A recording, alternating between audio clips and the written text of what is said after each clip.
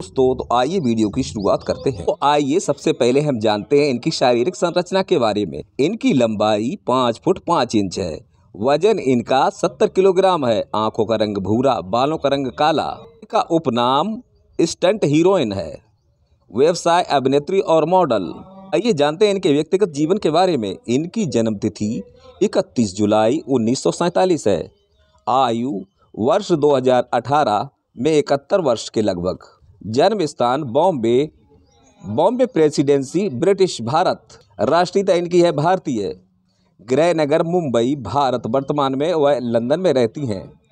इनका धर्म है इस्लाम। शौक और अभिरुचियाँ, नृत्य करना और पुस्तकें पढ़ना।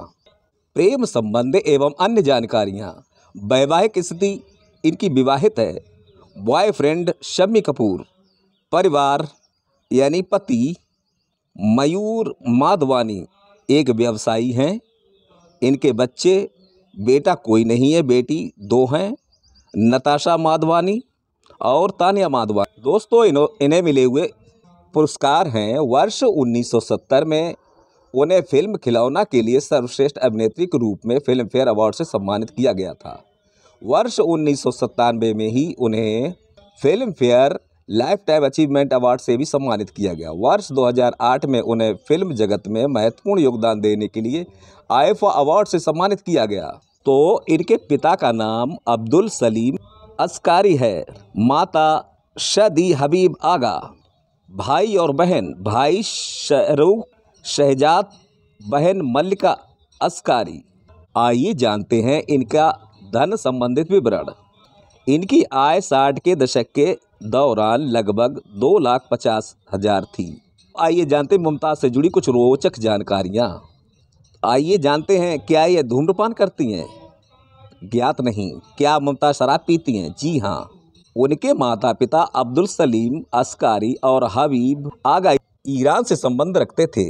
वर्ष उन्नीस सौ सैंतालीस में मुमताज़ के जन्म के ठीक एक साल बाद दोनों का तलाक हो गया।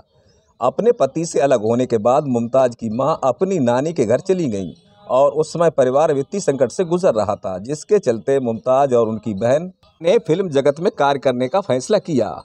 तेरह साल की उम्र में मुमताज़ ने फ़िल्म इंडस्ट्री में कदम रखा। मुमताज़ ने हिंदी फ़िल्म में सोने की चिड़िया उन्नीस सौ अट्ठावन से एक बाल कलाकार के रूप में अपने अपने करियर की शुरुआत की। उसके बाद उन्होंने अभिनेता दारा सिंह के साथ फ़िल्म फौलाद, जो कि उन्नीस में बनी थी, में एक अभिनेत्री के रूप में कार्य किया। एक साक्षात्कार में मुमताज़ ने कहा था, कुछ हद तक मैं कह सकती हूँ कि मेरे करियर को दारा सिंह ने बनाया है, क्योंकि उनके साथ फ़िल्में करने के बाद मुझे अच्छे ऑफ़र मिलने शुरू हो गए थे। दोस्तों, दिलचस्प बात यह है कि मुमताज़ उस समय दो दशमलव पाँच लाख लेती थीं। उस समय उनकी भूमिका कुछ रोमांटिक दृश्यों और कुछ गानों के लिए बहुत छोटी होती थी।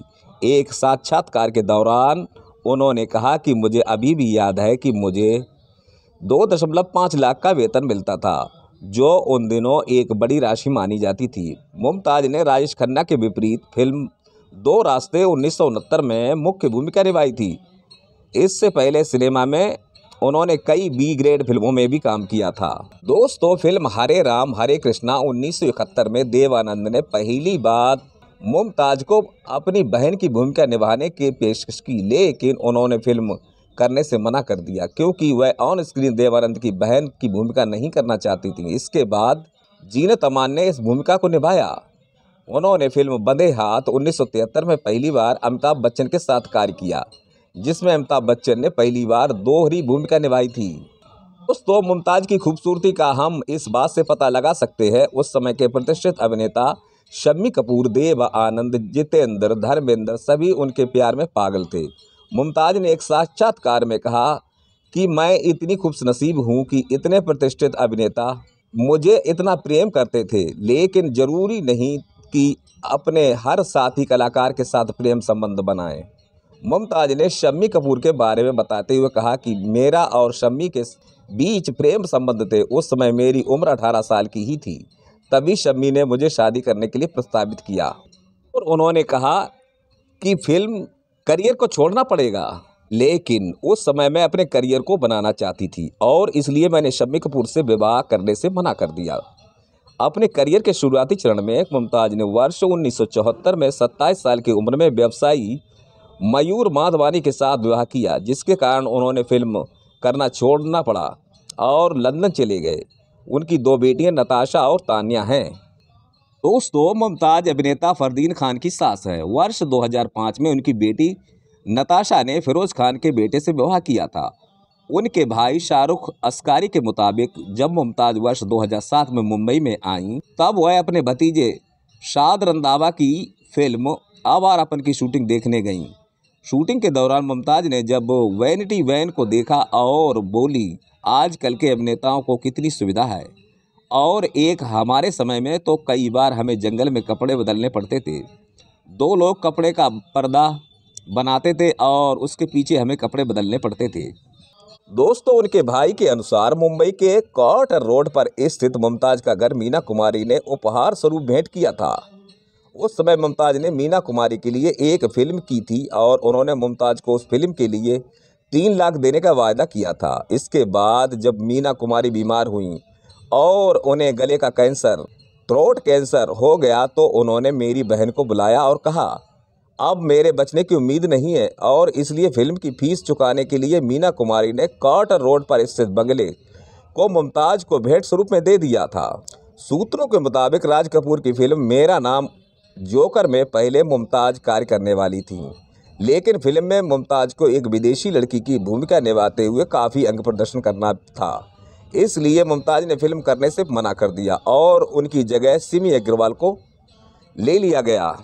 दोस्तों, उन्होंने दो रास्ते, आपकी कसम, प्रेम कहानी, दुश्मन, रोटी, फौलाद आदि और Toofan, Tarzan and King Kong, boxer, जा, जवान मर्द जैसी करीब सौ से भी अधिक फ़िल्मों में काम किया और सफलता प्राप्त की। एक ब, के बाद एक जब उन्हें पता चला कि फ़िल्म बंदे हाथ में उनके सहायक अभिनेता अमिताभ बच्चन हैं और वह उनकी मर्सिडीज कार को काफ़ी पसंद करते हैं और उसे खरीदने की इच्छा रखते हैं तब उन्होंने बिना किसी को कहे कार की चाबी अमिताभ बच्चन को सौंप दी और स्वयं अमिताभ की साधारण कार ले ली।